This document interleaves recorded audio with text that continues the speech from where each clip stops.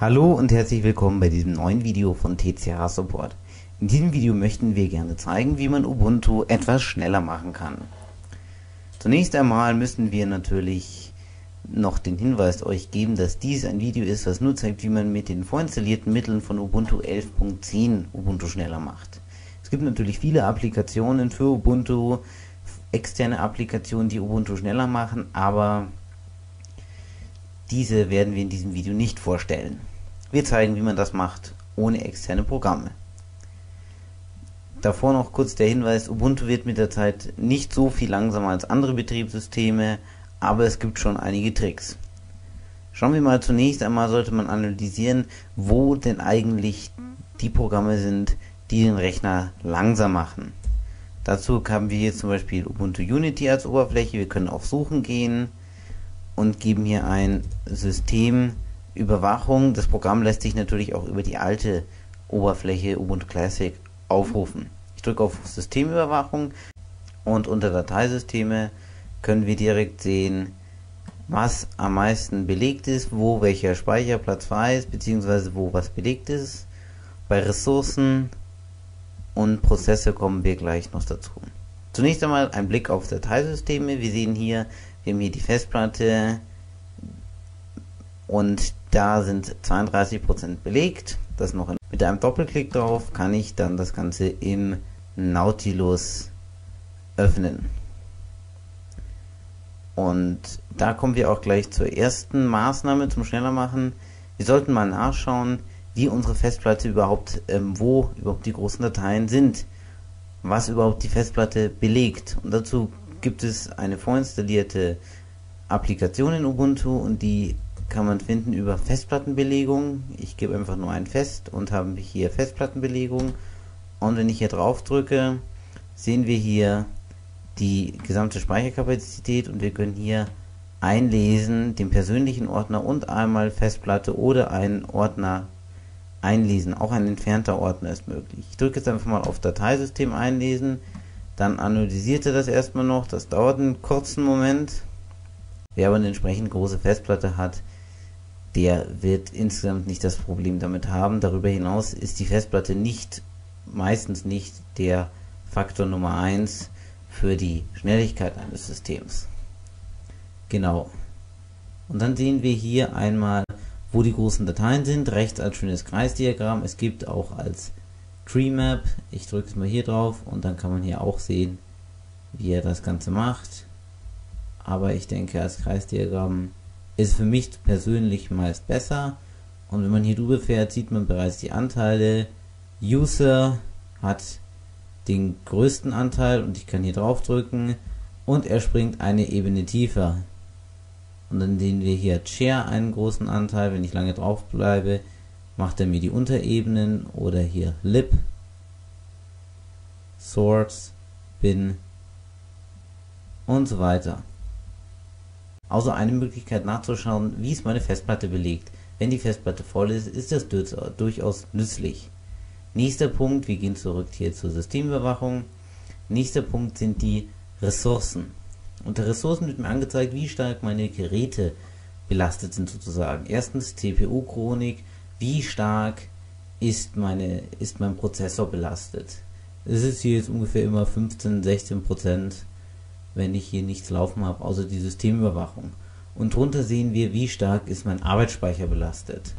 Sehen wir auch nochmal schön als Kreisdiagramm. Und wenn ich jetzt natürlich hier noch was öffne hätte, und da mal ein paar Fenster aufmache, sehen wir, wir hatten jetzt hier vorhin 406, 408, 411, steigt entsprechend die Belegung des Arbeitsspeichers. Haben wir 412 Megabyte. Man kann übrigens die Farbe wechseln, wenn man hier drauf drückt, aber das mal nur ganz nebenbei. Und hier unten ist noch unsere Netzwerkchronik, die uns sagt, wo genau wir wie viel vom Internet verbrauchen. Derzeit verbrauchen wir nichts, wir senden nichts, wir empfangen nichts, nebenbei läuft keine Internetanwendung, das Netzwerk wird nicht belastet. Gehen wir mal auf Prozesse, dort können wir genau sehen, wo die Sünder sind sozusagen. Und dann sehen wir hier einmal den Status, der ist eigentlich recht wichtig. Man kann hier draufdrücken, jeweils oben und dann wird sortiert nach dem Status. Und wir sehen, es schläft alles, nur GNOME System Monitor, das ist das, was wir geöffnet haben, das läuft gerade. Der nächste Wert ist auch sehr wichtig, das ist der CPU-Wert. Der sagt uns, wie stark der Prozessor ausgelastet sind. Wir sehen, die Systemüberwachung verbraucht hier 7% des Prozessors. Und wir sehen das schon ordentlich was, wenn man hier noch ein paar Sachen aufmacht. Zum Beispiel ein, ein Fenster, dann sehen wir Nautilus verbraucht 15 oder 13% vom Prozessor. Noch ein kleiner Hinweis, das ist hier im virtuellen Computer, also der Prozessor ist eingeschränkt von uns. Es ist nicht so, dass die Programme generell wahnsinnig viel Prozessor verbrauchen. Und auch sehr wichtig ist, wie er verbraucht den meisten Arbeitsspeicher. Und wenn ich mir den Arbeitsspeicher ansehe, ich drücke, sehen wir, Nautilus verbraucht 30 Megabyte und damit den meisten Arbeitsspeicher. Und hier kann man einfach sehen, welches Programm verbraucht den meisten Arbeitsspeicher und dann gegebenenfalls darauf reagieren. Nächster Punkt ist, dass man vielleicht unnötige Software von Bord schmeißt, die man eh nicht benutzt. Dazu gehen wir aufs Ubuntu Software Center. Schauen mal drauf, ich öffne es. Und dann sehen wir hier das Ubuntu Software Center, das öffnet. Und wir können hier eigentlich gleich auf den Punkt der installierten Anwendungen klicken. Da sehen wir nämlich alle die Programme, die auf unserem Computer installiert sind. Wir können hier auch welche suchen. Hier zeigt er uns gleich Kategorien, Barrierefreiheit, Büro, Grafik,